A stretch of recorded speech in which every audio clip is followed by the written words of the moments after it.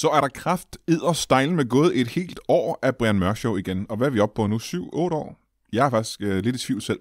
Det vi har gjort siden tidens morgen, det er jo at herhen imod slutningen af året, at øh, prøve at finde ud af, hvilket afsnit, der har været det absolut sjoveste i løbet af de sidste 12 måneder. Det, øh, det er sgu svært at bedømme for mig selv, vil jeg sige. Jeg synes, at de alle sammen er her sjove. Så derfor så er det jer, der skal bedømme og øh, bestemme jer for, hvad I synes, der har været det sjoveste. Det gør vi ved, at øh, du vælger de tre afsnit, du synes har været sjovest. Og så skriver du øh, til mig numrene på de afsnit. Det kan du fx gøre inde på, på Facebook, inde på øh, Lytbar Podcast Community hjemmesiden, eller på Brian Mørk Show podcast hjemmesiden. Øh, du kan også bare skrive det til mig på Twitter. Altså alle steder, der kunne få fat i mig. Der kan du øh, skrive de tre afsnit, du synes har været sjovest, og så øh, lægger jeg det sammen, og så finder vi en vinder her sidst på året, lige om lidt.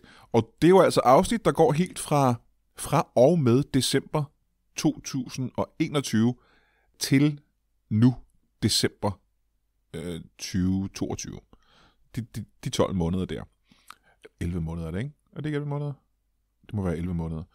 Fra og med december 2021 øh, til nu 22. Øh, så lægger vi det sammen, og så laver vi et par af de der sådan, øh, afsnit sidst på året og i starten af januar, hvor vi øh, laver et countdown på de 10 øh, aller sjoveste afsnit, indtil vi finder en, øh, en øh, gedigen vinder. Og lad os se, om vi ikke kan, kan se, om, om det bliver Thomas Hartmann og Heino Hansen igen. Det, har, det er ved at blive lidt en kliché. Det kan jo være, de vinder igen i år. Så øh, kom i hak, kom i gang, øh, sæt i gang, øh, fortsæt, øh, have det i en pose. I dag i studiet to komikere, der har planer om at redde hele verden, hvis jeg ikke tager meget fejl, ligesom andre komikere har gjort de sidste 20-30 år, når det, når det nærmer sig enden på et, et år. Ikke? Er det, mm-hmm. er det ikke 30 år cirka? Det jo, det lader til, at der er, man kommer aldrig til bunds i problemerne. Kan man, man vel ikke, egentlig godt det, konstatere lidt Man kan sige, at komikere har ikke løst nogen af problemerne Nej. endnu. Nej. Øh, og alt det og ændre mindre i uh, Brian Mørk Show. Nå, jeg skulle ikke have sagt noget der. Jo, jo, det er fint.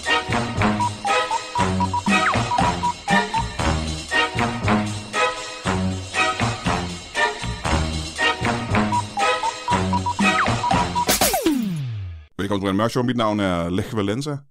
Og øh, jeg forstår ikke, det er ikke sådan, det staves, men øh, det er sådan, man sagde det i TV-avisen i 80'erne. Og hvis du ikke ved om det er, så kan du google det. Jeg har lige sagt, at jeg har to øh, komikere, der skal redde verden i studiet, men før vi gør det, så har vi noget, vi har gjort siden tidernes morgen, øh, ligesom at redde verden. Og det er, at en lytter har sendt et bibelcitat ind, øh, og det er sendt ind af Patrick Lindgaard Munk, og det er Apostlenes Ugerninger, vers 14, stykke 5. men de, der håber på Herren, får nye kræfter. De får vinger som ørne. De løber uden at blive trætte. De vandrer uden at udmattes. De afleverer en positiv urinprøve og får frataget deres olympiske medaljer.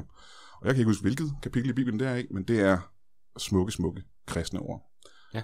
Velkommen til uh, Thomas Warberg, og uh, altså, du har, det er ikke så længe siden, du har med. Nej. Du er tit med, jo. Ja, ja. Fra starten af har du været med rigtig mange gange, ikke? Jo. Carsten derimod, ikke? Carsten Eskedon. Velkommen til dig også. Tusind tak. Han er aldrig med på en mærke. Nej, mm. Nej, men det er mig, der har hævet ham med. Han sagde først nej. Ja.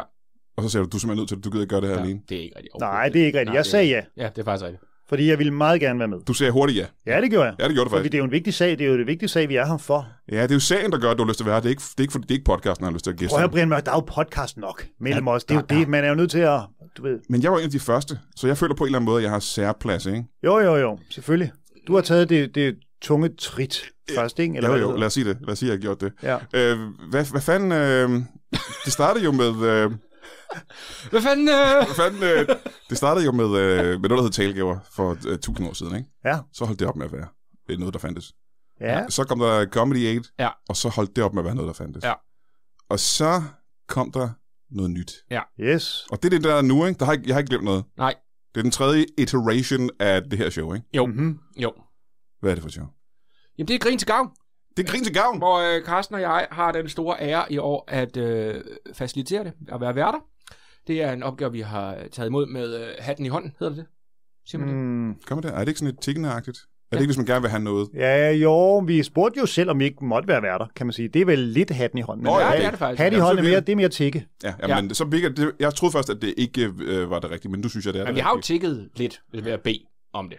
Ja, det, så skal man jo til at definere, hvor mange gange man skal spørge om noget, før man tigger. Ja, det er rigtigt. Det er rigtigt. Og vi fik ja med det samme. Mm-hmm. Så, så. Det, var ikke, det var ikke engang modvillige eller noget som helst? Nej. De er faktisk rigtig begejstrede for idéen. De kunne godt se fidusen i det, så det Ja, det glæder kan vi os utrolig meget til at være med til at skrave nogle penge sammen mellem jul og nytår. Ja. Men øh, I har jo prøvet det før på de andre shows, ikke? I har begge to været værter tidligere. Jeg har aldrig. Har du aldrig været vært? Nej, jeg har aldrig været være? Du har da været det. Jeg, jeg tror, jeg Vi har været det sammen. Vi har været det sammen en gang, ja. Yes. Jeg, øh, da jeg i sin tid øh, ragede uklar med øh, bookingselskabet FBI, ja. øh, der sagde jeg, at jeg vil gerne øh, skifte over til nogen, der hedder Timer. Jeg synes, det vil behandle mig bedre. Og så satte FBI sig ned og sagde, at der, vi vil gerne beholde, at vi vil gøre alt for at beholde, er der noget, vi kan gøre? Så jeg vil gerne være vært på talegaver, og sagde, det kommer ikke til at ske. Så smuttede jeg. Sådan en historie. Hold da kæft. Wow. Vi vil gøre alt for at beholde. Alt for. Vi vil gøre alt. Nævn det. Det her. Nej. Det var Så- utroligt. Altså, alle var jo værter på det show. Yep. Ravl og Krat var jo værter på det show. Yep. Hvorfor må du ikke være vært på det show? Jeg ved ikke. Det ved jeg simpelthen ikke. Jeg ved det ikke. Altså, jeg har været vært på det show tre eller fire gange. Hvorfor fanden må du ikke være vært på det show? Jamen, si- sikkert fordi du skulle være det. Og jeg var sådan, jeg var 8. valg hver gang. Ja. Ja. Jamen, jeg var 9. altså, det... Øh, så, Og har det gået dig på egentlig? Øh, nej, det har det faktisk. På Fordi ingen det er jo sådan, når øh, folk, der udretter store ting, skriver deres selvbiografi, sådan øh, kommer der jo altid en lille ting. Uanset hvor meget succes de har akkumuleret, så vil der jo altid være en lille øh, sten i skoen. Kommer den til at være din? Nej, nej, det bliver ikke min Og det kan du sten. sige med 100% sikkerhed. Ja, det kan jeg. Men der er jo nødt til at være noget bitterhed, der gør, at man bliver til en stor person. Ikke? Det er der hver gang. Ja. Der er nødt til at være en eller anden bitterhed, der, der driver en fremad til uh, greatness. Ja, jeg tror, øh, jeg tror dog, jeg oplevede at blive censureret forleden dag. Det har jeg ikke prøvet før. Nå. Øh, jeg var inde og lave, øh, og det kunne måske blive lidt bitterhed. Men det ved jeg ikke helt, eller jeg synes, det er sejt. Jeg var inde og lave øh, Hav og Kamals VM, skæve VM, Ja. som jeg synes var et skønt, skønt lille program, sjovt program. Og det går godt, det går rigtig fint. Og det jeg skal se, det er, at efter hvert show, så ligger de op, hey, ham her er gæster, og et lille klip og sådan noget. Og så, så øh, jeg synes, jeg er sjov og skøn, og så slutter vi af med, at de lige siger, hvad er egentlig din holdning til hele det her One Love armbåndet? Og så bruger jeg, men nogen vil argumentere for få lang tid på at sige, at jeg synes, Simon Kjær er en øh, tøsdreng. Mm-hmm. Øh, og det er egentlig noget bag, han skal tage det. Men, men og, og det, de er jo alle sammen op at køre, og jeg kan se, at det, det er ikke blevet sagt nogen steder, jeg har været der. Der er der blevet nogle klipper med dem. Så nu har jeg besluttet mig for, at jeg er blevet censureret, og det synes jeg, det kan jeg mærke er ret skønt. Er, er det, du, er ikke helt sikker på, at det er rigtigt Mm-hmm. censur? Der er ingen, der fortalte mig, at jeg er blevet censureret. Jamen, det kan også være, fordi du, som du selv sagde, at du bare snakkede og snakkede og snakkede, og du var nødt til at klippe noget ud. Ja, du er bare blevet ignoreret, grundlæggende, er du Jeg er ikke? ignoreret ikke det samme som censureret, ja. Det er lidt det samme. Det er ikke rigtig cancel culture, synes jeg. Ah, men det, Nej, for man er, folk er jo nødt til at kunne forbyde en at sige noget, for så er de jo nødt til at høre noget, man har sagt, kan man sige. Du er blevet uhørt. Ja. Du er blevet Nej, jeg er ikke noget, der er blevet klippet væk. Nå, Programmet okay. blev sendt. Nå, der, er bare ikke blevet, der er bare ikke blevet, der er ingen, der har ligesom sagt, hey, han har været her. Nå, så de har prøvet at dyste ned. Ja, altså, jeg er blevet dysset ned. Du dyster ned, ja, okay. Jeg er for Okay. farlig. Nej, du er blevet ikke promoveret nok. Jeg, jeg er for farlig til at promovere mere. Ja, jamen, det tror jeg også, jeg har prøvet mange gange, faktisk. Ja, det tror jeg også, du har prøvet. Det tror jeg, jeg har prøvet rigtig mange Men du gange. er farlig. Jeg, er- jeg, prøv at høre, jeg er så farlig, at jeg slet ikke bliver booket til noget som helst. ja. Og der er, der er Så farlig er jeg. Jamen, så er folk, folk tør ikke røre mig. Der har- Simpelthen med en ildtang. Du ved, øh, være til kronprinseparets halløj. Ja. Øh, flere Nobelpriser er jeg blevet forbigået What? til. Jeg har ikke, du ved, Nobelprisen i litteratur. Jeg skrev der en, øh, et bidrag til en øh, børnebog. Den lille Poul med papmaché en lille novelle på 5-7 sider. Der var der ingen Nobelpris i litteratur til mig der. Uh, uh. Forbigået, siger jeg. Der har ikke været så De mange... tør ikke! Der har ikke været så mange farlige mænd fanget i en kælder siden 1945. Men du er vært på det her show, jo, ikke? Ja, nu kan de ikke stoppe os Nej, mere. ja. nu kan de er vi kraftedeme her. ikke stoppe. Det, bliver det Hvad fanden, øh, show. hvad fanden, øh, det, er jo, det er jo bare et indsamlingsshow. Det er jo komikere, der prøver at redde verden igen. Ja. Øh, Hvad, er- hvilken del af verden dengang?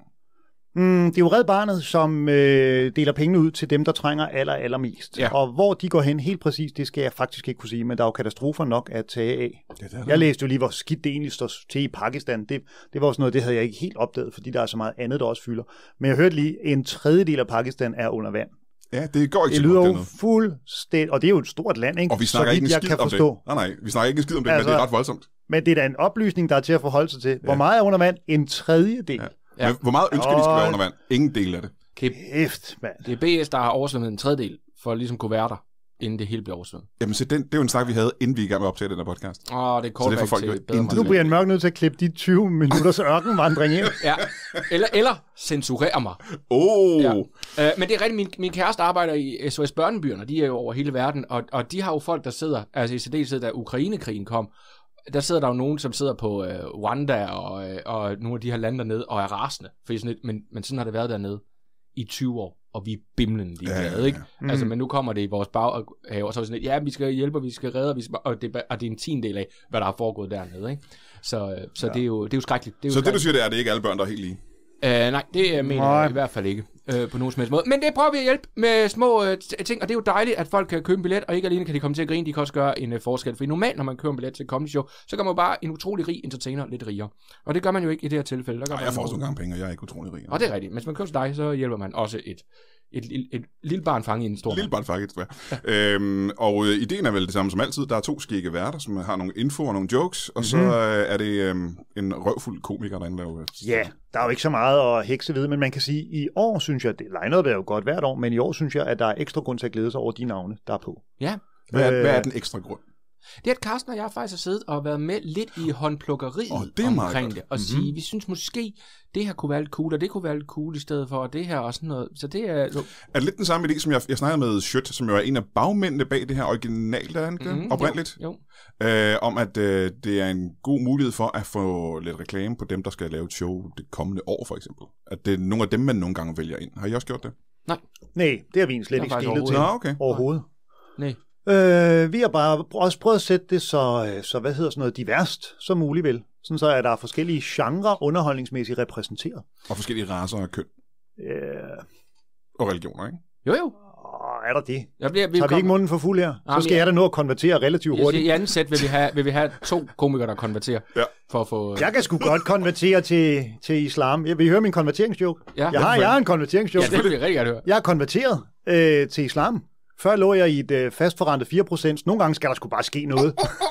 Det er sgu da sjovt. Det er min Det er en Den, joke. den kan jeg da lave. Det kan du lave. Den laver jeg. Så har vi en... Øh, Nu er vi i gang. Og så har vi det er en skide religion godt. Det er godt. Det kunne, være, det kunne sgu være meget sjovt at konvertere for at være et mere diverst show. Det er jo ikke en helt dum idé. Varberg og jeg er jo ved at skrabe idéer sammen Ja, ja, til ja. bunke i forhold til at sige, hvad skal vi bruge vores øh, sammenlagt 12 minutter på, eller hvad fanden det nu giver. Ikke? Ja. Der er der noget der. Om der er en af jer, der skal, der skal konvertere, og en skal skifte køn i hvert fald. Ikke? Juridisk set i hvert fald. Det kan jeg godt Ja. gøre. Ja, men det gør vi. Det skal ikke hedde Det sig. synes jeg, Vi kan bare skifte Kan tilbage i der et eller andet. Øhm, men vi har faktisk, og ifølge Lejen, nu skal man jo passe på med at hive nogle folk ud, øh, for så bliver dem, man ikke nævner, jo skidesure. Du kan bare nævne dem alle sammen. Okay, jamen jeg kan faktisk ikke huske dem alle sammen, det vil jeg godt. Men vi, jeg er meget, meget stolt af, at vi har fået for eksempel øh, øh, sådan en gut som øh, Jonas Kærsgaard har vi fået med ind, som jo er relativt, ikke ny i gamet, men meget, meget interessant komiker, og meget, mm-hmm. Mhm. spændende, tror jeg, en, de fleste os komikere kigger på og siger, wow, det er spændende. Skæg komiker. men måske ikke har fået det der kæmpe gennembrud endnu, netop fordi det er så spændende, mm-hmm. det han laver. Jeg er også virkelig glad for, at vi har fået sådan en som Daniel Lille på, som er jo, har jo i de sidste 10 år været en af de sjoveste mænd i Danmark Ja, ja. men af en eller anden grund heller ikke lige har, har fået det der store, hvor folk er, er bevidst omkring det mm-hmm. endnu. Så det, det synes jeg har været sejt, vi har kunne gå ind og, og gøre det der. Og jeg tror, jeg tror, at vi virkelig har det. Måske de bedste lineups, der har været i årvis, faktisk. Jeg synes også, det er virkelig godt. Vi er Ja. også heldige, at Lasse Remmer er jo en travl mand, og ikke sådan en, der siger ja hvert år. Eller, eller Og tager han- telefonen for den sags skyld. Nej, han kan nogle gange være lidt svær at få fat i. Ja. Han har sagt ja til at dukke op også, og så var jeg lykkelig, da jeg fandt ud af, at Annika Åkær havde lyst til at være på i år, fordi hun var så, hun med lavbud sidste år, ikke? Jo, af syg, en var eller syg. anden årsag. Ja. Men hun har heldigvis øh, fået det bedre, og er frisk på at stille op i år, og hende synes jeg er tordnende morsom. Kæft, er det godt, hun har fået det bedre. Altså, det er jeg glad for. Ja. ja. Så Specialklassen er specialklassen også... kommer og laver noget impro og sådan noget. pissefedt. Så Ja, der ja. sker er lidt, ud over bare den ene stand-up-komiker, der afløser den anden stand-up-komiker. Ja, Jeg, ja. jeg tror faktisk, det bliver, og det siger jeg ikke kun fordi, at vi skal lokke nogle folk ind i butikken. Jeg tror, det bliver en rigtig god aften i det København og bliver, Aarhus. en, ja, det bliver en skidegod aften. Mm-hmm. Altså, det er slet ikke Jamen, det lyder måske ovenikøbet som en bedre aften, end mange af de andre aftener, vi har været til af lignende slags, hvor der bare er 20 komikere, der skal på efter hinanden. Ikke? Altså, det lyder som, at i, i, i det, bare underholdningsformen også er diversitet.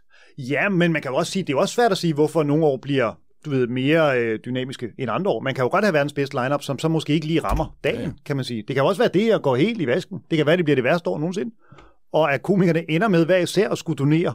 Ja. Fordi det bliver så ringe simpelthen, Jamen, jeg har- at alle billetpenge skal returneres, og de trækker os hver 250 kroner via MobilePay. Og jeg fordi bliver ringet det er op af- gået så dårligt. Jeg bliver ringet op af FBI, der siger, derfor.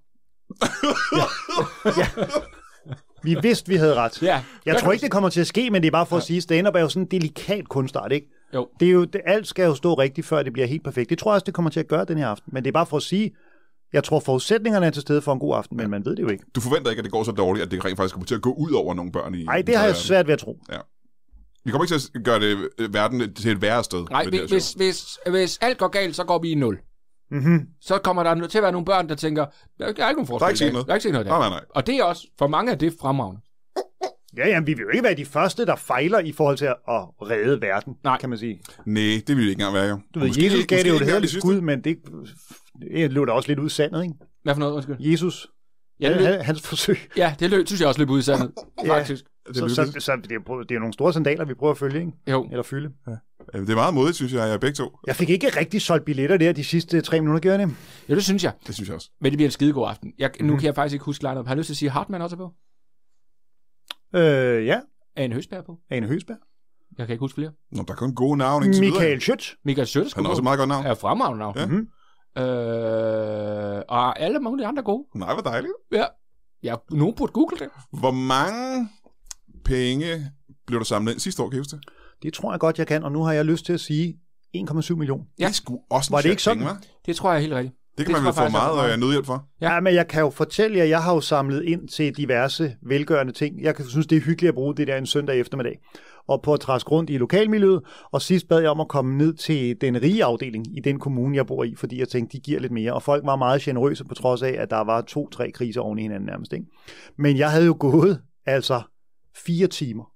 Og jeg kom, fik at vide, at jeg i den bøtte havde sparet, eller øh, skravet 2700 sammen, eller sådan Ja. noget. Og så tænkte jeg, hold kæft, jeg har lige brugt to dage på at have det rigtig hyggeligt med nogle rare mennesker, og gøre nogle andre mennesker glade. Og så har vi samlet 1,7 millioner. Mm. Mm-hmm. Hold nu kæft, Ja. en luksus, at det kan lade sig gøre. Jeg vil altså også sige, hvis man ikke har været inde og se Grin til Gavn før, eller nogle af de der talegaver eller comedy, så jeg synes, der er en ret fed stemning derinde, fordi der er den der, det er mellem jul og nytår, folk mm. er sådan lidt, de er lidt mætte, men de hygger sig også, og de er ude med familien, og nogen har fået det i gave, det er en skidegod julegave i det. Ja. Øhm, og der er sådan noget i, ja, vi skal sgu bare have det rart, og der, der er lidt smæk på, og man kommer igennem potpourri, og hvis der er en, man hader, så er han sgu af igen om 6 minutter. Så kommer der noget nyt. Det synes jeg også er fedt, og så kommer der Ja. noget genialt, og nogen, man ikke har set, for det er fremragende. Jeg vil købe alle billetter, var mig. Men jeg synes også øh, fra tidligere år, at man har den her følelse af, at øh, ja, ja, alle sidder og hygger sig og er lidt mætte og julestemningagtige. Men der er også sådan lidt en... Jeg tror, det gør noget ved stemningen, den der med, at alle ved, hvorfor man er der. Ja. Alle ved, Ja. de penge, man har betalt, går til noget andet end, du ved, bare de komikere, der står på scenen. Ikke, Ja, Mhm. mm-hmm. ja. Og vi får ikke en øre. ikke en ord. Er der ingen, der tjener penge på det show? Ja, det ved jeg sgu ikke. Jeg gør ikke i hvert fald. Øh, nej, det tror jeg ikke, og jeg tror endda også de steder, der lægger hus til, for penge, sådan rent legemæssigt. Åh, oh, ja, ja, ja. Men jeg ved bare, der tidligere år i andre shows jo har været noget problem med, at der er nogen, der har fået løn, og nogen, der ikke har fået løn. Og sådan, noget, ikke? Jeg det tror- skal jeg faktisk ikke kunne Det skal jeg ikke gå ned men jeg kunne forestille mig, at øh, de tilknyttede øh, brandsikkerhedsfolk, De har også fortjent det. tror jeg bliver lønnet. De skal også have løn. Det skal de. Ja, det synes jeg også. Og sådan noget. Jeg kan også godt Jeg forestille mig. dem, der står ude i garderoben, de må også gerne få Ja, og garderoben får sikkert også, og, Ja, ja, ja. ja. og lydmanden får sikkert også. det og er sådan også noget. Det synes jeg også er okay. Mm-hmm. Det er, det er, Og værterne selvfølgelig, ikke? Og værterne selvfølgelig. Og vi så får ikke, øh, øh, vi, vi sagde hver 1,7 divideret med 2. Og øh, Hvad var det så? jamen det, vi- de, vi venter stadig på svaret. Aha. Øh, det må vel være... det vi må ligge omkring en... Ja, Øh... hvad, hvad er den på? Ej, jeg må da indrømme, at jeg spiser lidt ekstra chips de dage der. Jo, jo. Det føler jeg godt, jeg må Ja, ja, ja, ja, det der i uh, backstage. Der holder jeg mig ikke tilbage. Nej, men jeg tror ikke, det er godt for de der sådan, så børn i den tredje verden. Altså, børn i Pakistan, der er oversvømmet, de kan ikke bruge de chips til noget som helst. Men mindre de er meget salte. Altså, su- suger alt vandet op. Yep. Ja, ja. Ja, det Laver du den joke på aftenen? Det skal du da gøre, synes Den jeg. er i måske bunken. Øh, hvornår er det det her show her? Øh, det er den... Øh, kan det fast, den 27. og 29. Det tror jeg er utrolig rigtigt. Ja, den 27. i Aarhus, og den 29. i Falconer i København. Hvor i Aarhus? Øh, I øh, musikhuset. Mm-hmm. Mm. Store sal. Og man kan købe billetter øh, hvorhen? Øh, på internet. Nå, for fanden. Ja. Ja. Nå, det er alligevel. På World Wide Web. så hvis man Ej, men det er vel... øh, Ja, Man hvor googler er, bare, hvor, det er vel... Uh, Jeg tror ikke, grin til gavn.dk. grin til gavn, ja, ja. jo, grin til gavn.dk. Google grin til gavn, svært kan det være. Jeg er glad for, at vi laver den her podcast, inden vi laver alt muligt andet PR. Du er det første. For jeg kan godt mærke, at vi måske skulle have forberedt os lidt bedre på, hvor vi er henne, hvornår og hvem er på. At du skal bare tage de andre mere seriøst end det her. Det kan jeg godt mærke, at det er, Ja. tror jeg, meget normalt faktisk. Okay, man okay. ikke tager det så Jeg seriøst. kan bedst lige at være Og nogle gange har verden jo også de der faktuelle oplysninger, kan man sige. Jamen, Jeg har dem faktisk alle sammen, men det er bedre, at I siger dem. Altså, jeg kan huske det hele. Jeg ved overligget, hvad halvdelen af 1,7 millioner er. Hvad er det? Det kan jeg ikke svare på lige nu. Det er 850. Ja, det ved vi jo godt. Vi sidder og pjatter, Carsten Iskelund. Nå, Vi kan godt dele 1,7. gav det? Men i forhold til inflation, så skal vi i hvert fald op og tjene 1,9 før det. Det er så vildt, ikke? Ja. Men det kommer vi også til. Det bliver en fremragende aften. Det er det korte og det lange. Og grunden og til, man vi, støtter en god sag, til, og vi er det bliver... det er for at sige, at du skal købe billet, og du skal i hvert fald købe det en uh, julegavebillet. Som du lige sagde tidligere, det er en pisse. Det er den bedste julegave i, i hele verden. Ja, eller, mm. eller adventsgave. Altså, det er der også mulighed for. Eller en af de der Ja, stakler, hvis der er nogen, der har fødselsdag i her i december måned, ja, der, og dem glemmer man nogle gange. Uh, Sonja, Ja, så- og så Sonja må- Oppenhagen, for eksempel. Hun har fødselsdag i december, ikke? Det kunne være hende. Jeg så Sonja Oppenhagen for ikke så lang tid siden. I, Er hun stadigvæk lækker? Ja, Ja, hun er nemlig. må man sige det? Men, men det ved jeg ikke, om man må. Men jeg var faktisk, hvor jeg tænkte, wow, Sonja, Ja, og hun har været i Godt for 70'erne dig. eller sådan noget. Hun er Ja. stadigvæk jeg tror, hun er 100. 170, ikke? Ja, men altså, det var faktisk, øh, men ikke på nogen, jeg var bare sådan tænkt, der, det, nogle gange, Ja, ikke på en klam måde, nej, nej, men nogle gange, det der, når folk de siger, ja, det siger de jo i min alder, de siger, du bør jo motionere hver dag, og man siger, "Hva- hvad skulle jeg få ud af det? Og så en gang ser man sådan i Oppenhagen og tænker, okay, derfor, Tror du, hun motionerer hver dag? ja, det tror jeg. Ja, det, men det tror jeg. Det, jeg. Jeg kan ikke forstå, hvordan hun ellers kan holde sig i sådan en form. Hun, altså, det, var, det var vanvittigt imponerende. Hvor så du hende? Jeg så hende ude i Waterfront, ude i Hellerup. Mhm.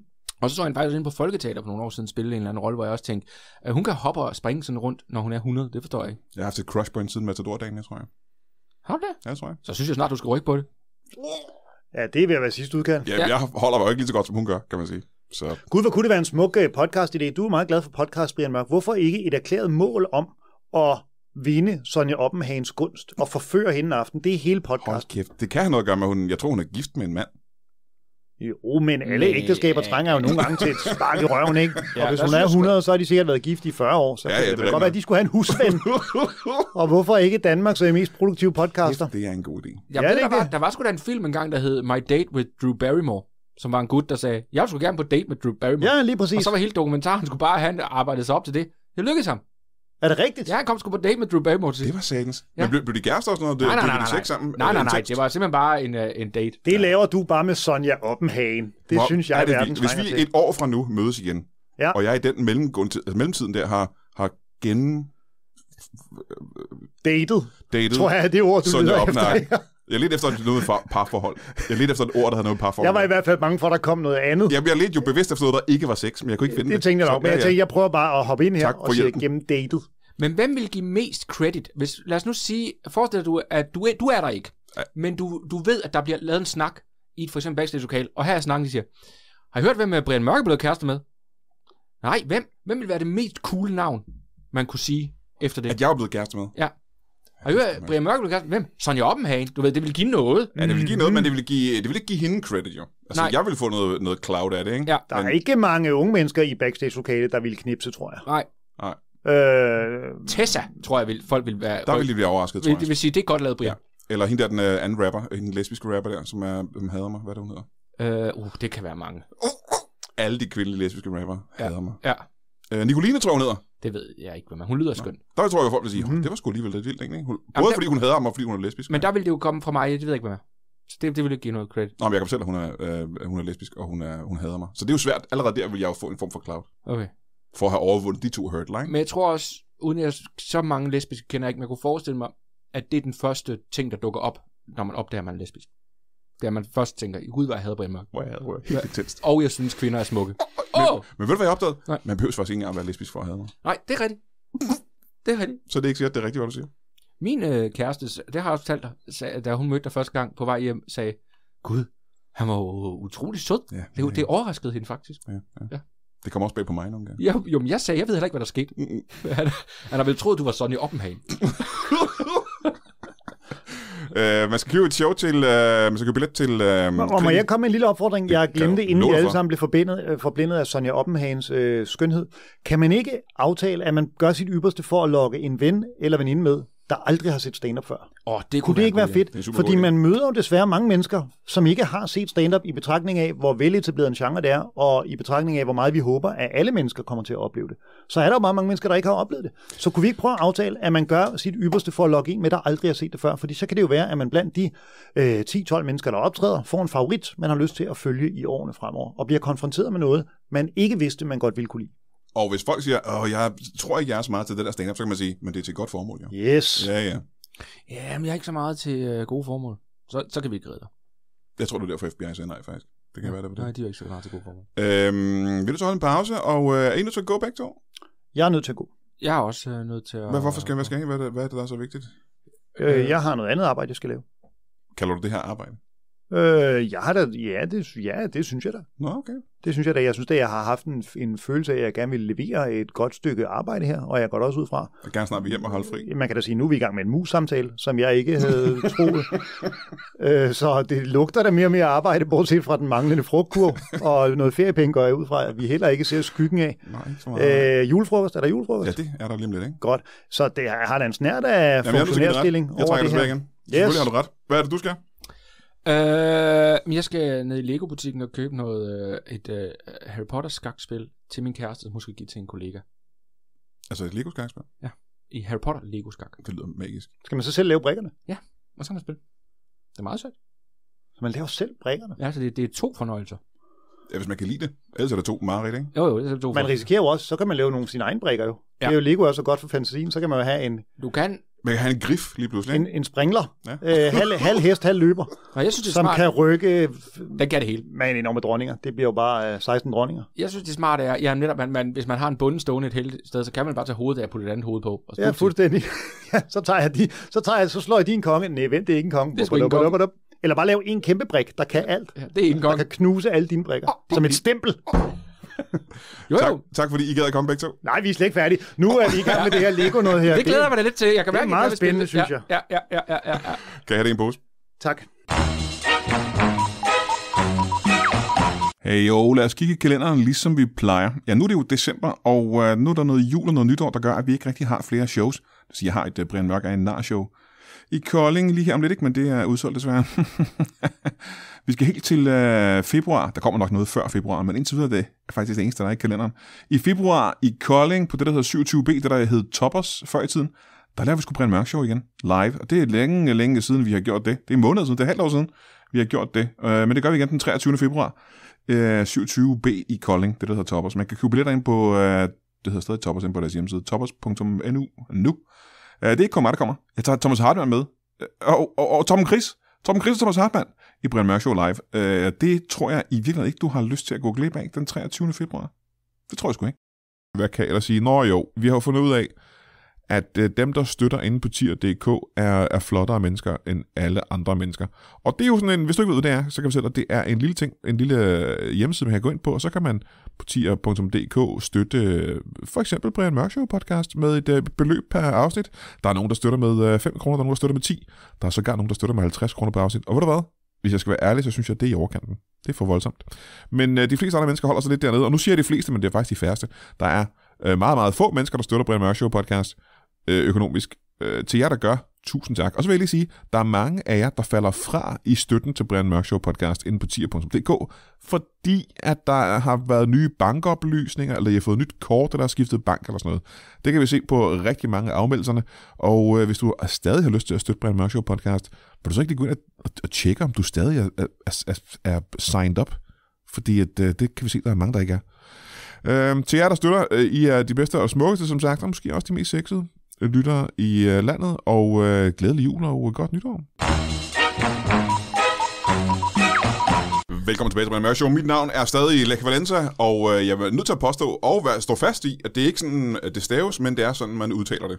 I hvert fald i TV-avisen i 80'erne, som sagt. Vi har lige haft besøg af Carsten Eskelund og Thomas Warberg, der begge er værter på Grin til Gavn, som du er nødt til at købe en billet til, til dig og alle, du kender, øh, her i øh, mellem jul og nytår. Uh, Varbe, er det ham, den uh, fæge fra det der Bremen? Han er ikke så fed med. Nå, Nå, han har tabt sig øh, voldsomt, men ja, det er Thomas Warberg fra, Han der var med i... Øh, han er stadig lidt fed. ja, han er stadig lidt fæg. ikke øh, da han var i studiet her, der var han faktisk... Og så øh, skal jeg stoppe med at skrive det i kommentarerne på en spiller der. Øh, ja, det vil jeg da sige. Øh, Hvis du gør det, så skal du da stoppe med det. Ja. Fordi øh, nu, nu har du hørt stemme på mine to nye, meget, meget øh, forhåbentlig spændende gæster. Det er det jo altid.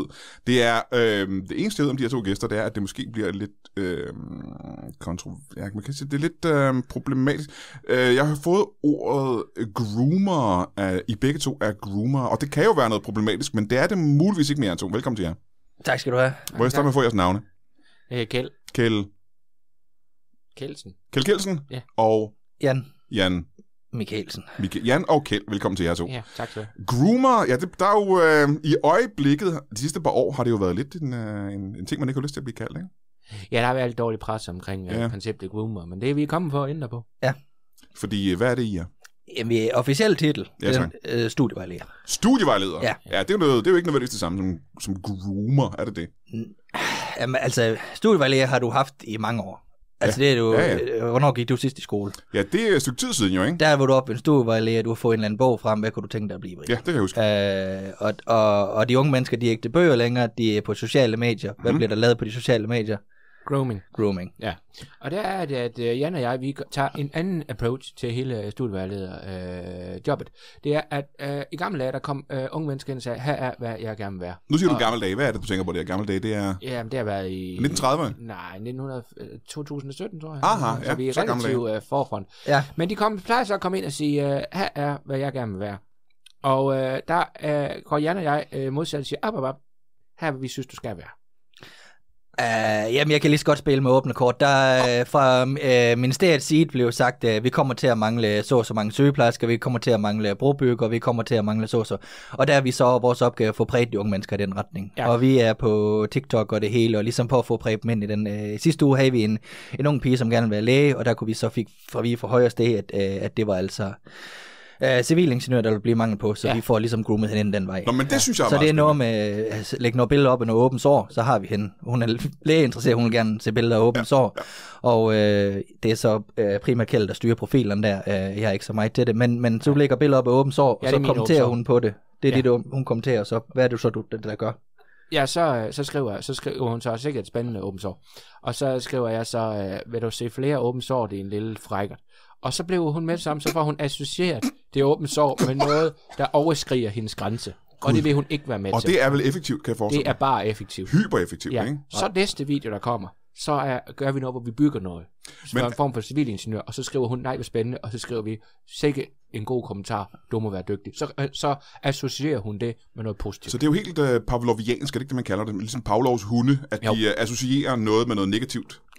Uh, Det er vi- meget, meget spændende, ja, vi groomer. Ja, um, nu kan vi jo også høre, øh, der er en klar arbejdsfordeling. Ikke? Altså, jeg, har, jeg, er mere, jeg er mere sådan en bindelæge mellem ministeriet, og så, ikke? Øh, ja, lad os sige det som det er, når, når vi så har fået forhold ind i bæksen og vil have mænd til en snak, det er mig, der tager snakken. Kjeld, du er ikke en uh, people person, er Nej. det, du siger? Jeg ser, Du er mig på nettet. Jeg er mig på nettet, jeg sidder Aha, med ja. kælder, og så har, er jeg i snak med så mange unge kvinder og unge mænd, øh, via alle mulige falske der har vi også profiler. om. Jeg har Aha, ja. et, et form for A-koppe netværk, Mhm. hvor jeg hele tiden øh, snakker med øh, meget, meget unge mennesker. Og der er jo, jeg lige kigger på, på, på i anden gang, fordi vi har snakket om, hvordan vi kommunikerer det her. Det kan godt komme lidt, for, det kommer, det, du kommer til det, det lyder lidt forkert her. Det er. Det er Kjeld. Hvad? Det, det, er det er Kjeld, du kigger på, ikke? Ja, ja, jeg kigger på Kjeld. Ja. Ja. Jamen, det er fordi, vi hænger så meget sammen. Der er nogen, der er Jan, og nogle gange bliver det Aha, Kjeld og sådan noget ja, ja, ja. der. Og normalt, så vil jeg også sige, normalt har vi navnskilt på, så vi ikke kommer til at sige noget forkert. Ja. Ja. Og det må vi så tage det af, fordi at, øh, ja, det er jo et lydmedie, det vil være åndssvagt at Jamen, det er jeg enig med dig, ja. Ja, ja. Du har så taget dit på, det kan man så... Nå, det har jeg altid på. Ja, det er sådan der. En Ja. dag, hvor man ikke bruger sit navnskilt, så holder det jo en dag længere. Det er korrekt. Så behøver man ikke. De bliver så slidt, de Ja. her skilte, ikke? Det er korsbændt. Man skal jo have et nyt øh, hver, hver halve år næsten, ikke? Ja, behøver man jo ikke, hvis man tænker sig om. Men det vil jeg gerne høre. Nu siger du hele tiden, øh, du, du, du, du gentager, at ministeriet beder jer om at gøre forskellige ting. Hvad ja. er Ja. det for et ministerie, vi snakker om her? Ja, jamen det er jo ikke et ministerie som sådan, det er, øh, øh, hvad fanden her det? Ja, hvad hedder det? Jamen det er jo en, en form for forening, eller hvad skal man sige. Øh, Jeg er faktisk lidt i tvivl. De har ikke de der stempel, eller hvad skal man sige, officielle papir på det, men øh, hvad fanden er det? Så det er ikke officielt brevpapir. Rudi, Rudi et eller andet Ja. ja. Frederiksen eller sådan et eller andet. Det er i hvert fald ham, jeg skriver med. Jeg ved ikke, hvad det er for en forening, han har. Men, øh, men han er meget interesseret i det her grooming. Og, og, og, og det er så, jeg går til, til Jan øh, og fortæller ham, øh, hvad fanden, hvad fanden, Kjeld, undskyld Kjeld. Nu, jeg, jeg bliver helt forvirret. Det er det fucking navnskilt, vi Men skulle jeg tror også, det er fordi, I ligner hinanden så meget, som I gør. Det gør vi Ja, jo. så er det også fordi, jeg jo har øh, ikke bare en, men flere hundrede falske profiler. Så det kan jo være alle mulige navne, jeg går under. Og det er jo både øh, drengenavn og pigenavn, og faktisk også en del navn, hvor du ikke er helt sikker. Theo, det kan være begge dele. Kan det det? Ja, det kan det. Aha. Øh, det kan Kim. Kim kan også Ja, det være kan det, ja. I hvert fald i Korea, ikke? René. René. Jeg har fire Renéer. Øh, det er både uden den. Og Jan, var det ikke så løgn? Ja, nå, ja. Uh, så det er jo dem, jeg, jeg og derfor så kan det godt veksle lidt op i, uh, i navnene. Ja, og det, jo- ja, og det er, og fordi det her elektronik, det, det, er ikke, det er ikke min stærke side, så der, der er en klar opdeling der. Jeg synes, det, jeg synes nogle gange, det er imponerende, hvad man kan, fordi så får jeg vi fra, jamen, må vi prøve at komme med et eksempel, så får jeg, Jeg vi fra, fra allerhøjeste sted, øh, vi har en øh, pige her, som gerne vil være, hun vil gerne være gymnastiklærer, men vi vil gerne have, at hun bliver øh, automekaniker. Hvad, Ja. Hvordan vil du få hende ind der? Faktisk, uh, så har vi ofte, hvis lige må sige noget, den, det er oftest den anden vej rundt, faktisk, hvor de ofte vil have noget, der er måske mekaniker, Ja, eller de vil være sygeplejerske, men ofte vil han gerne, eller organisationen gerne have, at de begynder at lave mere gymnastik. det var for at tviste den lidt Ja. dig. Jeg tænkte, Øh, du skulle have en udfordring. Okay, ja, men den anden vej rundt, ja. ja men så vil jeg nok tage en af mine, øh, mine gymnastikprofiler. De Ja. vil ofte have noget i retning af øh, Jytte, eller de vil have noget i retning af øh, Laura. Og så vil jeg gå ind, og så vil jeg finde, er det en dreng eller pige, vi vil have til at lave gymnastik? Ja, jeg tror, det er en pige, den her. Ung pige, Det- ikke? Ja, det, det plejer det at være. Ja. Uh, så vil jeg gå ind, og så vil, når de så kigger på, at de vil være mekanikere, så går jeg ind, og med det samme de ser noget bil, så vil jeg gå ind, og så vil jeg skrive, uh, så vil jeg skrive fra en profil, der hedder John. Så vil jeg skrive, uh, hvad så er din lille uh, uh, sexkartøffel? Uh, og det vil hun ikke kunne lide. Ah. Og så vil jeg gå ind for den, der hedder Laura, og så vil jeg sige, kan du stoppe med det der? Nå, og så skaffe det sympati til den unge pige. Og så få en, øh, siger, kom med til gymnastik. Og så, øh, ja, så skal hun jo mødes med nogen. Øh, og der, det, det er ikke Ja, hvordan foregår det? Ja, det er ikke mig. Det er jo så mig, der Det er overtager der, det. Også, altså, ja, det, er mig, det er mig, der står Men så er du nødt til at spille Jytte så, ikke? Ja. Øh, hun er ankommet til en gymnastikforening, hvor du så tropper op som Jytte. Ja, så stropper jeg også med, som Jytte, og så siger jeg, øh, hvad, hvad gør hun? Hun kan måske have Mille hen her, så siger jeg, nå for helvede, skal du ind og lave gymnastik her? Mm. Det kan du ikke, den, øh, øh, der er simpelthen, øh, gymnastiklæreren er ikke kommet frem, han, øh, der er noget med noget bil og noget, der ikke virker. Nå for Det er helvede, altid, Jamen, kommer, det, vil kom, sige, ja, det er altid vigtigt at sige, at de vil mødes med en af samme køn, så de er trygge. Ja, ja, ja, selvfølgelig. ja, der klæder jeg mig så selvfølgelig ud. ja, ja. Du er jo Jytte nu, ikke? Jeg er jo Jytte nu, du kan også mærke på min stemme nu. Uh, her er jeg mig selv, nu er jeg Jytte. Ja. Uh, og det er små variationer. Du, nogle gange har jeg ført til telefonsamtaler, hvor du simpelthen, øh, du aner ikke, hvad du snakker om. Altså, du aner ikke, hvem du snakker Nej, om. jeg Jeg har engang fået ham til at betale 40.000, fordi Nej, jeg nej, troede, der nej. var noget vandskade. Hold eller noget. kan, kan jeg snakke med Jan? Kan jeg snakke med Jan, Ja, ja, ja. ja. at sige. Jeg kan også flere. Uh, Morten Grundvald. Nu er jeg Morten Grundvald. Ja, ja. Ja, det du kørt. Nå, men så kommer jeg ind, og så, så vil jeg sige, uh, lave et eller andet scenarie om, at uh, bilen, uh, gymnastiklandets bil, den er brændt sammen. Nå, men han kommer vel senere og siger, nej, der, der er simpelthen mangel på automekanikere her omkring. Og så er det den her dårlige samvittighed. Og så forlader jeg bare stedet, og så står hun tilbage med den dårlige samvittighed der tilbage. Og forvirret er hun vel også, for hun Ja. har først fået et dårligt indtryk af mekaniker, og nu får hun at vide, at det er en god idé at blive mekaniker. Lige præcis, så vi... Det, Og der er de perfekte der. til at groom, Aha. når de er helt forvirret. Man skal forvirre dem først, ikke? Ja. Ah, ja, ja, ja. Ja. unge, Meget, meget forvirring. meget unge, forvirrede mennesker. Jamen, så lad mig se, om jeg har forstået det her korrekt. Ja. Øh, du bliver kontaktet, Jan, af øh, Rudi Frederiksen, kaldte du ham. Ja. Han fortæller dig, at der er brug for flere sygeplejersker, for eksempel. Ja, for eksempel. Øh, er det ofte noget med, øh, øh, at der... Det, det sidste, den sidste opgave, han har bedt dig om, hvad er det? Altså erhvervmæssigt er Ja. den sidste opgave, det var noget Og du med... får også opgaver, der ikke er erhvervsmæssige. Ja, men det er så omkring, jamen, det hænger lidt sammen, fordi det her sygepleje, så vil han også gerne bekræftes af de sygeplejersker, og det er så noget, der skal dokumenteres med nogle billeder. Det forstår jeg ikke helt. Det vil gerne få bekræftes. Jamen, øh, sygeplejersker har uniform på. Uh, Ja, og så skal der så, øh, og det, er- det, det, det, det er vel egentlig det svære, du har, når du sådan beder dem om at tage tøj på, Ja. ja. uden, de, uden de har taget uddannelsen. ja, før de er sygeplejersker, Ja. ikke? Ja. Det, er, er det meget ofte sygeplejersker? Øh, det er, sige 99 procent. ja, resten af... Og nonne har det også. Ja, nonner er der. Øhm, Det- der sekretærer er der også. Ja. Øh, så er der en enkelt øh, håndboldspiller, vil jeg han også gerne have. Aha. Nej, det der er den store udfordring, synes jeg, det er, så vi havde en, som siger, øh, jamen det kan jeg godt, øh, fordi min mor er sygeplejerske, så jeg tager bare lige hendes uniform på. Og der er problemet, at den vi, eller den organisation, gerne vil se, den er lidt øh, kortere. Så vi er nødt til at sige, ikke den. Nå, det er ikke den officielle Nej, sygeplejerske. ikke den, vi går ah, efter i hvert fald. okay. Vi Ja. sender så ud, øh, fordi øh, så, jeg kan bare klippe i den. Det må du ikke. Du må ikke klippe i statens uniformer simpelthen. Ja, vi er, der er regler. Ja, fordi den, Der er ja, jeg regler var på sygehuset for nylig, og der synes jeg også, at sygeplejersker er sådan meget tækkeligt klædt i lidt kedeligt tøj, faktisk. Ja, Og men der er heller ikke, der er ikke mange af dem, vi snakker med, der ender der. Nej. Nå, nå, Nej. nå, okay. Øh, vores opgave er at få dem ind på uddannelsen, og vores opgave er ikke at fastholde dem i dem. Nej. Øh, sådan set. Øh, Men hvad sker der så? så? Så skal øh, der bliver taget et billede af dem for at bekræfte, at de har... Ja. Det, det forstår jeg ikke. Hvad, hvad det der er sker der? på, på, hvad her den uh, gule der med spøgelsen, snap, snap, Snappen. snappen. Ah, der, ja, man Snapchat. jamen, han, hun, ham der, det er som at have Ja, et ungt ja. menneske. Han Ja, ved sat det kan med- jeg. Det er sommer at have et ungt menneske. Jeg må jeg spørge, hvor gammel er det, du er? Øhm, jeg er lige blevet øh, 67. 67, ja, det er jo, det er jo lidt oppe i årene, ikke? Ja, jo, jeg er for evig ung. Jeg kommer aldrig ud. Nej. Øh, så det hjælper på det, så sidder jeg derinde. Ja. Nej, så får vi dem ind i det private, øh, så vi sender dem ofte, så har organisationen, øh, vi har ikke været der, men Nej, vi ved, at de har det hospital. Organisationen, Ja, altså Rudi Frederiksen, han har et hospital. er på en ø, øh, op i Kattegat, hvor vi så sender dem op til at være sygeplejersker op på det øh, hospital. Ja. Det er så det sidste, vi hører. Ja, og, øh, Og så er jeres arbejde jo også udført, ikke? Ja, Kan man så får sige. vi en lille bonus. Altså, det, det er så også øh, nu skal man jo ikke uh, hænge sit uh, vasketøj til tørre offentligt, men altså, øh, vi siden 2017 har været der, vi har ikke, uh, vi har ikke lige fået noget penge for det endnu. Nej. Men uh, arbejde bærer glæden i sig selv, som uh, Rudi plejer at sige. Jamen, Ja, jeg- så, så vi har også fået at vide, at han har investeret dem for os, så på et tidspunkt, så, Ah, så vil det sikkert få en på et stor bonus. Ja, ja. Ja. Ja. Men så kan jeg så spørge, øh, I har gjort det her siden 2017. Øh, Vi er næsten i øh, 2023 nu. Ja. Hvor mange unge, som regel unge kvinder, Ja, Har også I- bare unge drenge. aha, Ja. hvor mange har I, vil, vil I sige, og det behøver sikkert være et præcist tal, men hvor mange vil I sige, I har groomet i, i den retning, enten sygeplejerske eller Men nonne? der er jeg nødt til, sådan kan du ikke stille det op. Kan jeg ikke det? Fordi at, øh, nu kan, han brænder sig allerede i stolen over, fordi du bliver aldrig færdig med at groome. Det er rent nok. Nej, nej, men, Du bliver aldrig færdig med nej, at groome. nej, men hvor mange har været igennem maskineriet? Kan jeg sige det på den måde? Slag på tasken. Tre. Er det tre? Nej, det var Oh, også... det var alligevel øh, færre, end jeg havde troet. Tusind. øh, tre. 3.000 unge kvinder og mænd. Men jeg har kun mødtes med tre af dem. Ja, ja. Ja. Øh, men øh, 3.000 unge kvinder og mænd, mest kvinder, har I groomet til at blive enten sygeplejersker eller nonner eller sekretærer. Ja. Ja. Aha. Øh, og det er også drengene. Jamen, så er jeg næsten nødt til, for der er en ting, jeg ikke har forstået helt her. Øh, Rudi Frederiksen, han kontakter dig, Jan, Ja. og siger, at vi har brug for flere nonner, for eksempel. Ja. Øh, og så kan det være, at der er en øh, ung kvinde, der gerne vil øh, være for eksempel brandmand. Ja. Og så fortæller du det til Kjeld, Ja. at han skal kontakte den her unge kvinde. Kjeld, hvordan får du en kvinde fra at være brandmand til at være nonne? Det er det, jeg siger. Så begynder jeg at finde alle hendes sociale medier, og så begynder jeg stille og roligt at arbejde med, jeg har været hacker. Det har jeg taget øh, FO, øh, F-kursus på til med hacking. Ja. Så det har jeg lært. Så er jeg ind på alle hendes, det er hendes øh, Facebook, det er de sjældent på. Så er det hendes MySpace, det er, nærmest, det er det aldrig på. Og hvor gammel er hun i det her tilfælde? Ja, hun er vel øh, 12.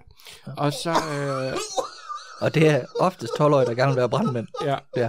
og så er det, øh, og så er det hendes øh, Snap, og så er det hendes Instagram, og så er det hendes Twitter, og så er det hendes TikTok, og så er det hendes øh, Mastodon. Det er det nye. Ja, ja. Og så er det hendes øh, øh, Hinge også. Og så går jeg ind, og så kan jeg love dig for, at hun, at hun får brandmandsvideoer. Og så bliver jeg, bliver jeg øh, ubehagelig i kommentarsporet. Ja. Og igen, indtil hun ikke vil det, og så kommer, øh, hvad det, hun skulle være sygeplejerske? Er nonnen, ikke? Non, så kommer alle nonnevideoerne efterfølgende, vil og jeg så bare, så skaber vi et. Det er, Jamen, det er de en af de eneste gange, hvor jeg ligesom har fået mit øh, besøg med, altså få lov til at, ligesom Ja. at komme ind og skrive noget. For jeg skrev så, øh, vil du gerne slukke en brand? Og så siger hun, ja, siger, hvilken, hvilken brand du aldrig kan slukke? Skærsilden. Bliv nonne.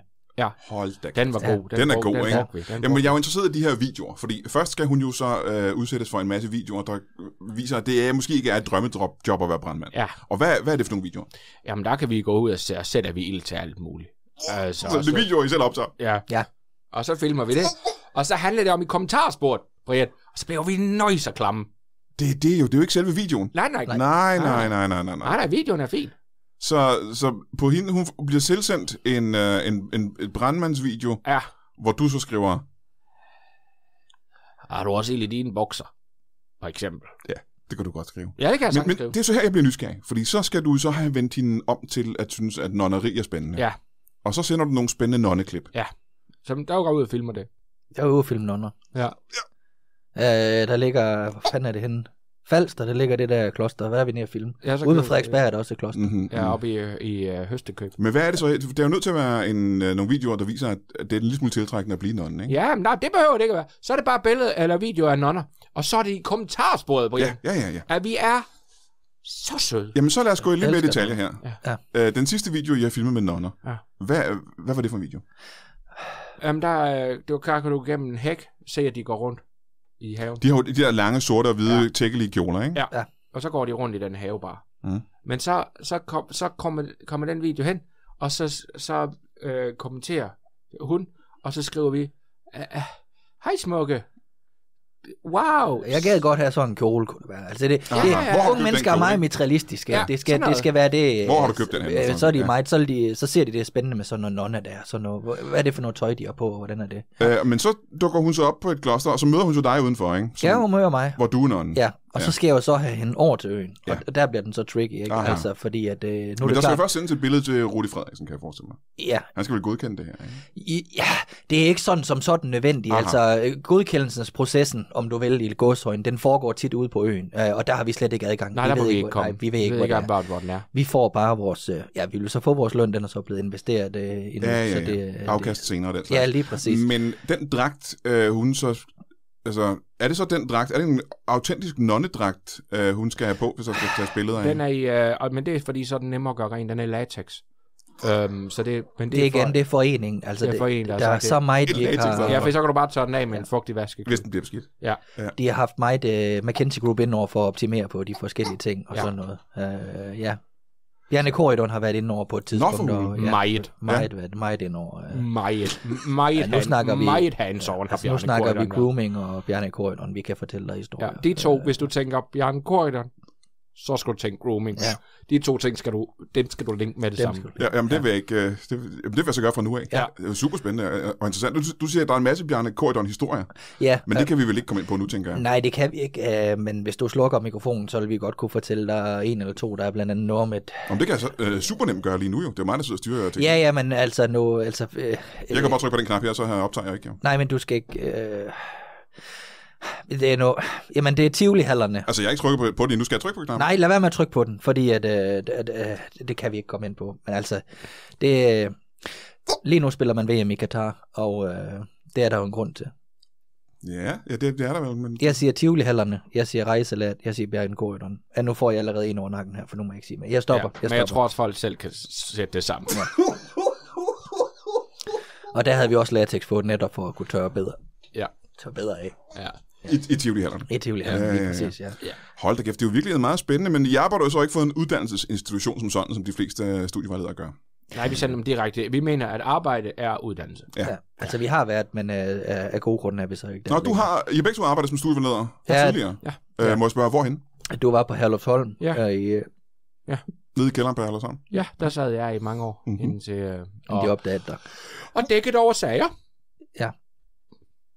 Og så har vi så fundet hinanden igennem. Men hvor sad øh, du hen til? Ja, ja, jamen jeg sad jo, altså jeg var jo, jeg var jo så, øh, jamen jeg var jo telefonsælger indtil, altså man kan sige, mit, Nå, du var ikke studievejleder som sådan. det er ikke studievejledning eller nej. grooming, jeg interesserer mig i, det er salg.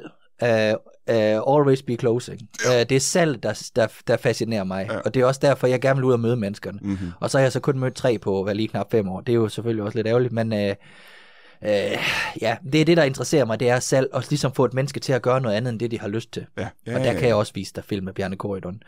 Øh, men, men det skal vi ikke ind på her. Og det er det, der fascinerer Men jeg må indrømme, jeg er jo også fascineret, når han ser over med, sin, med, med sine maskiner. Og, Alle og de datamater og apparater der. Lige præcis, Ja, ja. ja. ja. Så vi, øh, vi arbejder jo fra 8 til 22 hver aften. Vi bor sammen også. Hold, altså er det For at 8 om aftenen til 22, eller fra 8 morgen til... 8 morgen til 22. Hold, det er også noget af en arbejdsdag, hva'? Jamen, det er jo så primært dig, fordi jeg skal jo møde folk nu i virkeligheden. Ja, i hvert fald tre af dem, ikke? Ja. På fem år. Ja, så jeg sidder jo egentlig bare og venter på, at jeg kan møde nogen. Men du sidder vel og venter på, at du får en mail fra Rudi Frederiksen, kan jeg forestille mig? Ja, ja, så, selvfølgelig. Altså, øh, man kan sige, øh, er, man- er jeg chefen i firmaet, hvis man skal bruge de termer? Kan Men man sige det? spørgsmålet er så, er, er har, I et, er, har I et firma sammen? Har I et selskab? Uh, det er uh, varetaget af organisationen, Aha, Rudi Ja. Frederiksen? Ja. Ja. Aha. hvor det så, det, det der blev klaret det. Ja, ja, ja, Ja. ja. Men jeg kan så spørge, øh, hvordan mødte I to hinanden? Uh, til Petang. Vi Ja, men nogle gange så, ja, men nogle gange så kan... en- I spiller petang? Ja, vi spiller betang. Aha. Det er vi så også sat på standby for, og heldig også. Og heldige til det her. Jo, jo, hvis du er god til noget, så skulle du det, du Det skulle lave mest. rigtigt. Ja, ja, ja, ja, Og ja. Petang førte ingen vej. Nej, nej, nej. Så det var mere på hyggebasis. Ja. Ja.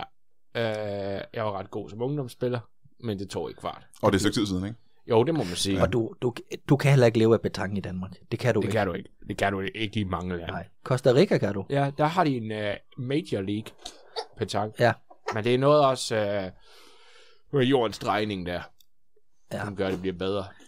Ja, nu, nu bliver jeg helt forvirret. Men det er Og sådan noget, man, kan jeg forestille mig, det er sådan noget, man tager... Uh, ja, det er jo nemmere at spille, Luftfugtighed hvor vi bøvler jo lidt med, hvis det, er for, hvis det blæser for mig. Ja, ja. så kuglerne de ryger. Kuglerne er for kolde og sådan noget, ikke? Jo, hvad, Ja. hvis det er for koldt, så Ja. kan du... Så jeg havde en, uh, en gang en ven, som skulle kaste kuglen, men så rev han huden af sin uh, hånd, håndflade. Det var ikke, det var ikke, det var ikke okay. Nej, men den kom tæt på grisen, så det var ikke helt dumt. Nej, nej, nej, nej, selvfølgelig. Men øh, Ja, det, så der er jo ikke så meget tid til alt det her betange og sådan noget. Det kan vi Nej. da også godt savne, men, men Nej, vi, hvis jeg er, arbejder fra 8 til 22, så er der ikke tid til ret vi meget. er faktisk. del af en vigtigere sag. Lad mig ja. sige det på den måde. Der er ikke? nogle gange, hvor vi kan stå op klokken 6 og gå ud af morgenpetangeren, men det er mere på det, det er hyggebase. Ah, Ja, ja, ja, ja. det vil også sige, det er sjældent. Ja, det, det er sjældent. Det er faktisk, nu, nu siger jeg det, mens du er her. Det er for sjældent. Jamen, det er det et eller andet Ja, sted. Altså. det Men det betyder så også, jeg tror, du nævnte, Jan, at I bor sammen simpelthen for at kunne arbejde så mange timer sammen. Ikke? Det har vi været nødt til. Ja. Og så er der jo også noget økonomisk i det, der vi ikke får nogen penge, så vi er også nødt til at, at bo et sted. Jamen, Det er jo virkelig interessant, fordi at, det kan godt være, at I ikke får løn endnu, der er et afkast senere muligvis. Men øh, hvordan betaler I så for ganske almindelige ting som husleje og den slags? Vi skralder. Ja. Vi skralder, når vi er ude. Så Kan man betale husleje med? Øh? Med skrald? Mm-hmm. Nå, men nu siger du hus. Ja. Ja. Det er mere et hjem Ja. for mænd. Ja. Mændenes hjem. Ja. Ja, men vi kan lige så godt spille med åbne kort. Ja. Øh, men som Rudi siger, lige om lidt, så er vi Så- mange millionærer. Ja, det er da investering før Ja, ja, ja. afkastet. Nå, men der tror jeg så måske også, at man kan sidde og høre det her og blive lidt forvirret, for man tænker, at de her unge mennesker, som regel kvinder, bliver sendt til den her hospital på den her ø. Ja. Og det er også nonnerne og sekretærerne, der gør det. Ja, det gør de altid. Øhm, men økonomisk set, tænker jeg, hvad er det afkastet er økonomisk? Hvor kommer pengene fra? Hvad er det... Ja, hvad er værdien i det her? Ja, men det, jamen, det vil jeg gerne svare på. Ja, det må du gerne jeg, gøre. jeg skrev speci- ja, lige præcis de samme spørgsmål i en mail til organisationen, og jeg vil gerne citere, hvad, hvilke svar jeg fik. Det skal du ikke bryde dit køn hoved med. Aha. Så, det gør Det er jeg. jo meget betryggende i Ja. virkeligheden. At det behøver du ikke uh, Nej, så det er, nogen, det er tydeligvis nogen dygtigere, der har Ja, ja. svar på. Jeg har haft nogle mail, hvor der har stået, hvad, hvad, ligesom, hvad man får ud af det. Og det er Nå, det har du ja, men det er en valuta, jeg ikke kender. Uh, det er noget, der hedder Punani, uh, som, Nej, hvor kan det være? ja, det ved jeg ikke, men det er noget, han får, altså det ved jeg ikke, det står der simpelthen, uh, så det er den valuta, den kender vi ikke. Så, så det, er- det er muligt, du får et afkast i Punani på et eller andet tidspunkt. Altså, uh, Petang kender vi jo godt Punani, som er, uh, der er to mennesker i verden, der har lavet det kast, Punani-kastet. Det er, hvor du får den til at gå forbi grisen, men så komme tilbage. Ah, ja. Jamen, jeg, jeg har ikke selv spillet petanque, så jeg kender Kom i gang. hverken begreberne eller noget Det som er helst. fedt. Så det er muligt, der er et afkast på noget Punani senere, Eller Punani, jeg ved ikke, hvordan det Men vi udtales. kender ikke vekselkursen, Nej, så vi vi kender ved ikke hvor meget der er i vekselkursen. det, Jeg ved ikke, hvad det er Nej. for noget. kan man sige. Nej. Øh, Ole Frederiksen, hvor sidder han henne? Er han ude på det hospital? Jamen, han er lidt over det hele, som jeg kan forstå. Lige Aha. nu er han i Thailand, der har han været, ja, faktisk alle de år, vi har skrevet med ham. Ja. Øh, jamen, jeg ved heller ikke, om han har flere ansatte, fordi som sagt, vi får ikke noget videre om organisa- organisationen. Nej. Nej, nej. Øhm, ja. Nå, men så må her til sidst kunne jeg også må høre, øh, hvad er det, der som samfundet har brug for øh, lige nu? Ikke i går eller i sidste uge, men lige nu. Hvad er det sidste, jeg har hørt? Striber. Så, så hvis der er nogle unge piger, der sidder derude, og godt kunne tænke sig for eksempel at blive... Øh, Og der er vi jo også, altså der intensiv, in, altså, har vi jo også nogle, der ved vi, hvor vi skal kigge. Det er meget i Tostrup og, og de kredse. Ja. Der Vi, går også, vi har også vi har en øh, ven henne hos Danmarks Statistik, så vi kan se, hvornår bliver folk skilt og sådan noget. Hvis man nu for eksempel er en, en ung pige i Tostrup, der ikke har nogen far, så, så er det der, du Så er der, jeg rykker ind. Der rykker du ind, ja. aha, ja. Må jeg så de ikke lige høre som det aller sidste? Hvad skriver du til en ung pige, der måske drømmer om at blive astronaut? Så sender jeg nogle astronautvideoer ud, Mhm, mhm. og så skriver jeg, øh, så skriver jeg, øh, Det skal lige siges, alle de der videoer, han sender ud, det er noget, vi selv har filmet. så skriver jeg, jeg kunne godt tænke mig at rejse op i din rumsonde. Hold da kæft. Ja, det er ikke rart. Nej, det er ikke rart. Det er ikke rart. nej, Det kan hun nej, ikke nej, lide. nej, Og så kommer der en strippervideo. Og så skriver jeg, wow, smukke. Sikke en flot øjenskygge. Du, Og så skaber jeg et bånd. Du skaber den gode stemning ved Ja. stripperiet. Selvfølgelig gør du det. Ja. Men nu sagde du noget, som gør, at jeg ikke kan lægge det her interview ned lige nu. I filmer selv astronautvideoen. Ja. Hvordan hulen... ja, men udover betanken, så har vi jo også lidt en, en fascination. Øh, vi er jo nede i hos Fotokær. Ja. Der er vi også store forbrugere. Ja. Og vi Der er ikke mange, der ved det, men mændenes hjem har en fotokælder. Hvad vidste jeg faktisk ikke, nej. Nej. Jeg kender ikke så meget til mændenes hjem, selvfølgelig. Men det er jo... Og der er vi nede og filmer nu. Altså nu siger du så astronaut, det er jo egentlig, den har vi kun en video af, fordi det har været næsten umuligt. Men jeg vil gerne vide, hvad det er for en video. Det er det, der er spændende, synes jeg. Andreas Mogensen, Ja, han da han skal første gang skal afsted, der får vi, du får placeret et kamera på ham. Da, første gang han tager op i rummet. Ja. Ja. Der får jeg lige duppet et kamera på hans skulder. Og man skulle tro, der var bedre sikkerhed hos NASA, men Det er der. Ja, det imponerer mig da vildt. Ja. Det er voldsomt. faktisk. der har du Ja. også groomet lidt. Der groomer vi. Aha. Han vil jo være... Øh, han vil jo være Stripper. cykel, cykel Men det fik vi sat en stopper for. lavet om på. Men har han så en ganske lille rumdragt på, eller... Uh, det tror han. Men ja. det er en lille smule mindre, kan jeg få som lidt kortere i det. Vi holdt ja. vejret, fordi vi troede jo på et tidspunkt, at han skulle ud i atmosfæren, og det, mm-hmm. og det kan man altså ikke bygge Nej, det var det ikke. Hvis børn nede i fotokær, kan det holde til at komme ud i stratosfæren? Og så, nej, det kunne det ikke. Det kunne det fandme ikke. Det kunne det ikke. Det kan godt lide. Han er den eneste rumdragt, hvor man lige kan se maveskinnet. Ja. Ja. Det er altid. Og der tusind tak, fordi I, I øh, gad at komme her i dag og fortælle os lidt om, hvordan man får ændret folks uddannelsesdrømme øh, i 2022. Kan I have det rigtig godt. Og så vil jeg sige, at øh, man skal huske at købe en billet til Grin til Gavn, hvor Thomas Warberg og Carsten Eskelund er værter på, og det skal man gøre nu. Ikke øh, i morgen, men øh, lige nu, når du hører det her. Kan I øh, have det i en pose?